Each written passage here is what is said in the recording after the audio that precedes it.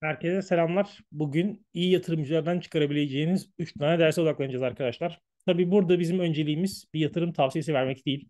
O yüzden belirtmek gerekiyor. Burada konuştuklarımızın hiçbirisi birer yatırım tavsiyesi değildir. Ama zaten bizim buradaki önceliğimiz bir hisse, hisse ya da işte bir bakış açısı, hisse ya borsa mantığı tasarlamak değil. Onlardan uzak bir şekilde biz sadece aslında kendi kariyer dünyamıza odaklanacağız.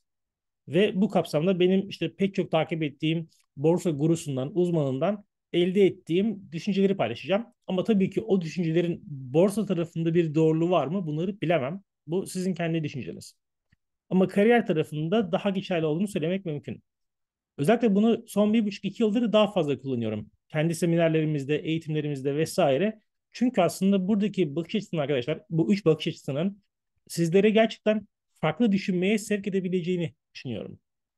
Bu videoya başlamadan önce videoyu beğenmeyi ve kanalımıza abone olmayı unutmayın diyelim. Çünkü böylece daha fazla insana ulaşıyoruz ve açıkçası ne yalan söyleyeyim bu da bizi motive ediyor daha fazla şey üretme anlamında. Şimdi arkadaşlar ilk çıkaracağımız ders hisseleri bölme konusu. Takip ettiğim pek çok bursa olmanın hep yıllardır tavsiye ettiği şeylerden bir tanesi bu. Diyorlar ki işte hisseleri bölün. Elinizde mesela kaç tanesi var? İşte 3 tane, 4 tane, 5 tane her neyse. Bunların diyor bir kısmı temettü geliri sağlasın. İşte bir kısmı büyüme geliri sağlayabilir. Bir kısmı bilanço geliri sağlayabilir. İşte bunlar da aslında kendi içinde kısa, orta ve uzun vadeli getiri anlamında veriyorlar. Ha bu arada tabii ki bunun kesin doğruluğu diye bir şey yok. Hiçbirisinde yok. Bunu tekrar söylemek gerekiyor. Kimisi diyebilir ki ben temettüyü gereksiz buluyorum. İşte Türkiye'de kazandırmıyor. Kimisi diyebilir ki ben çok seviyorum onu pasif getiri bana sağlıyor. Bunlar ayrı bakış açısı. Ama buradaki o perspektif bizim için önemli. Kısa, orta ve uzun vadeli yaklaşımları bir arada tutabilmek. İşte kariyer dünyasında bu çok çok değerli. Niye değerli? Şöyle ki. Şimdi ChatGPT konusu son birkaç aydır gündemimizde değil mi? Yapay zekalarla birlikte. Ama sizin kendi bölümünüzle ilgili ChatGPT'yi birleştiren işlerden para kazanmanız o kadar da kısa değil. Yani sen bugün kalkıp işte ben bölümümle birleştireceğim ve bu konuda ilişkili iş bulacağım dersen bu olmaz. Niye olmaz? Çünkü senin henüz bir altyapın yok. Dolayısıyla bir yaşanmışlık katman lazım ortaya. Bir e, birikim katman lazım. Onun üzerine gelişecek bazı şeyler. Ha, bunun için de ne yapacaksın? Şu anda bölümünde herkesin gördüğü o sıkıcı işleri yani ben zaten bundan kurtulmak istiyorum dediğin işleri belli bir süre yapman gerekecek. 6 ay, 1 sene, 2 sene, 3 sene. Ama sonrası işte çok daha güzel.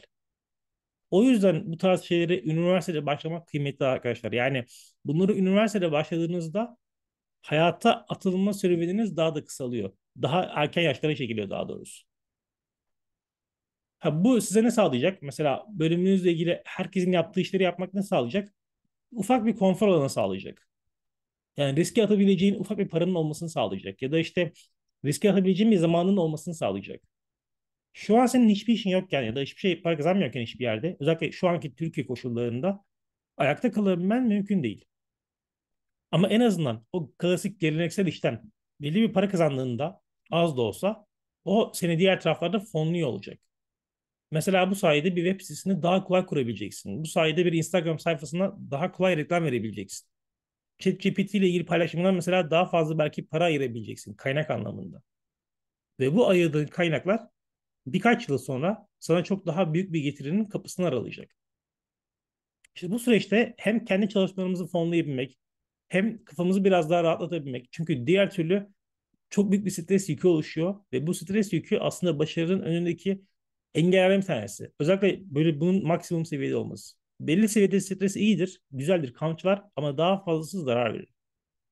Dolayısıyla arkadaşlar burada kendi kariyer dünyanızda birden fazla yöntemi bir arada bulundurmak çok kıymetli. Bir yandan gerekirse sıkıcı işleri yapın, bir yandan gerekirse o herkesin yaptığı basit işleri yapın. Ama öte yandan kendinizi de yavaş yavaş destekleyin, kendinize yatırım yapın uzun vadeli planlarla. Uzun vadeli planların tek başına olması çok sıkıntıdır. İnsanların sizi ciddiye almasına engeller. Bunu açıkça söylüyorum. Kendi hayatımda da gördüm ve sizlerin de göreceğini düşünüyorum muhtemelen. Ya işte soruyor ne iş yapıyorsun? Ya işte şunu yapmaya çalışıyorum. Para kazanıyor musun? Yok. O zaman ciddi alınmaz. Bu kadar basit. Ya da işte bir karşılık buluyor musun? İşte ödül falan alıyor musun? Ya işte zorluyoruz. Olmaz o iş. Ben size söyleyeyim.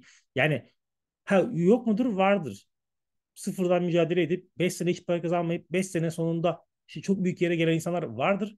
Ama o genel kitlenin arkadaşlar böyle bir sabrı, böyle bir dirayeti, böyle bir iyileştirme gücü yoktur. Onu söyleyeyim. İkinci madde hisseler arasında dağılmayın. Bu da yine çok fazla konuşulan konulardan bir tanesi. Elinde var mesela 20 tane hisse, 25 tane hisse. E sen her türlü zarardasın ki. Çünkü bir yerden bir yere zarar edeceksin. 5 tanesi kar edecek, 7 tanesi zarar edecek, zarar olacaksın gibi. Ha bunu da yine söylüyorum. Yani kimisi bunu daha doğru bulabilir borsa anlayışında. Ama kariyerde ben bunun yanlış olduğunu söylemem gerekiyor. Niye? Çünkü ne kadar çok alanla ilgilenirsen bir alanda fark yaratabilmen o kadar zorlaşıyor. Yani ben işte hem futbolla şunu birleştirebilirim. Hem müzikte şu var. Hem de işte bölümümle ilgili şunlar şunlar. O işi geçeceksin yani. Senin insanların aklına ilk gelen, ilk gelen olduğun bir konu olması lazım. Ha bu konunun ne olduğu hiç önemli değil. Onu söyleyeyim. Bunu yapay zeka ile birleştirebilirsin bölümünü. Blockchain ile birleştirebilirsin. Ya da genel olarak kürasyon yapabilirsin mesela. İşte küratörlük deyince biraz daha dağılmış gibi gözüküyor. Onların çok fazla alanı varmış gibi gözüküyor. Ama aslında öyle değil. Onların da uzman olduğu, akla gelen ilk isim olduğu belli alanlar var. İşte bunu yapmanın yolu da arkadaşlar mümkün olduğunca birkaç şeyi birden deneyip öncesinde belli bir zaman sonra kendi alanınızı seçebilmek. Ha, deneme konusunda sıkıntı yok. İstediğiniz kadar alanı deneyebilirsiniz. Uzmanlık alanını, hobi alanını, ilgi alanını deney deneyebilirsiniz. Bunlarda sıkıntı yok. Ama bir sonraki aşamada ben bir şeyin uzmanıyım. Ben şu konunun uzmanıyım dediğinizde artık orada 8-10 tane uzmanlık alanı doğru değil. Orada en fazla 2-3 tane uzmanlık alanı olmalı. Sürekli onları birbirine birleştiren, onlar arasında kartları dağıtan alanlarda olmalısınız. Çünkü diğer türlü bir fark yaratabilmek, özellikle de böyle yurt dışına vesaire gidebilmek çok zor. Yani yurt dışındaki ismin firmanın sizi alması için gerçekten onlara bir şey verebilmeniz lazım. İşte birkaç alanda olduğunuzda böyle çok fazla alana dağılmadan ama kendinizi çok da köreleştirmeden çünkü diğer türlü tek bir alanda kaldığında körleşiyorsun bir noktadan sonra. Bunu da önüne geçmek lazım. Yani sizi besleyen bazı şeylerin olması lazım. İşte bunun da yolu 2-3 tane alanda belirleyip burada ilerlemek. Üçüncü ve son madde arkadaşlar hisseye aşık olmakla ondan çabuk sıkılmak arasındaki çizgiyi koruyun. Şimdi yine mesela bakın burada da aynı nokta var. Yani kimileri diyor ki borsa uzmanları şey bu konudaki guru isimler, büyük isimler ya işte alın hisseyi kenara atın. 25 sene, 30 sene. Sorunuza kalsın mesela diyor. Kimisi diyor ki işte e, Türkiye'de trade süresi ortalama 9 gün mesela. Bir hisse alan kişi 9 gün tutuyor elinde. Şimdi işte ben bu ikisinin de yanlış olduğu kanaatindeyim kariyer tarafında. Ha borsa tarafını bilemem. Çünkü iki taraftan da kazananlar var. Görüyoruz yani. O yüzden ben ikisinden biri için doğru diyemem. Ama kariyer tarafında ikisinin de yanlış sonuç getirdiğini düşünüyorum. Herhangi bir konuya merak duyabilirsiniz. Ama bu size şu anki dünyada hayat boyu bir şey getirmez. Çünkü her şeyin bir süresi var. Belli, işte mesela bu şu anki telefonlardan önceki telefonları düşünün. BlackBerry'ler vesaire. Mesela o dönem şey vardı. HTC falan vardı böyle 2010'larda. Hepsinin bir dönemi vardı. O dönem HTC çok popülerdi, çok kullanışlıydı. Sonra ufak bir süre Nokia'nın işte bu kaymalı telefonları vardı. E sonra Apple'a geçti ve iPhone oldu. Belki bundan 5-10 sene sonra iPhone'un da bittiğini ve başka modellerin geldiğini göreceğiz. Bilmiyorum. Ama işte hep bir trend var. Ama belli bir süre. 6 ay, bir sene değil. Bir tık daha uzun. 5-10 sene artık. Ama belli bir süre. Dolayısıyla sizlerin de kendi kariyer dünyasında bu tarz geçişlere aşina olmanız lazım. Ben bir işi 20 sene yapayım, 30 sene yapayım artık mümkün değil. Ama öte yandan işe gireyim 6 ay sonra çıkıp başka bir şey yapayım ya da işte 6 ay ilgileneyim bir konuya sonra bambaşka bir alana yöneleyim. Bu da doğru değil.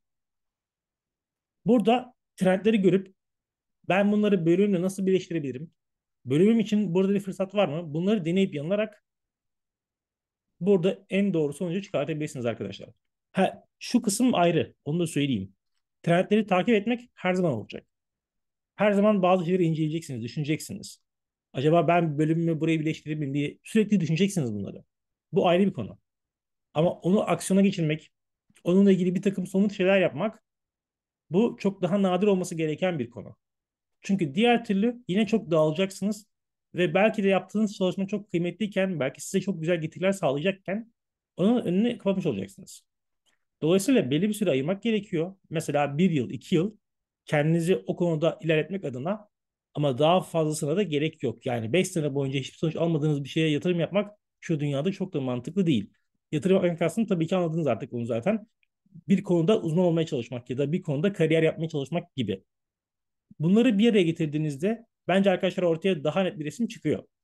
Ha tabii yine şunu tekrar vurgulamak gerekiyor. Konuşmanın başında olduğu gibi. Ya bunlar benim kariyer dünyasında doğru düşündüğüm noktalar. Ama bunların hiçbirisinin ben borsa tarafında doğru olduğunu iddia edemem. Çünkü o tarafı bilmiyorum. Ama orada okuduğum bu düşünceler, yorumlar bana güzel geldi. Kariyerle birleştirilebilir gibi geldi. Benim anlatacaklarım genel olarak bir şekilde bunların haricinde eğer sizlerin katılmadığı, yani şu kısım bence yanlış dediğiniz noktalar varsa mutlaka yazın. Ben de bir şekilde onları görmüş olurum. Farklı bir fikirden beslenmiş olurum. Çünkü bunu seviyorum açıkçası. Aynı şekilde eğer böyle katıldığınız, güzel gördüğünüz noktalar varsa onları da paylaşın. Ben de bu sayede sunumdaki bu şey e, konuşmadaki güzel tarafları da daha iyi görmüş olurum eğer varsa. Videoyu beğenmeyi ve kanalımıza abone olmayı unutmayın diyelim son kez. Ve önümüzdeki videolarda görüşmek üzere arkadaşlar. Şimdilik hoşçakalın.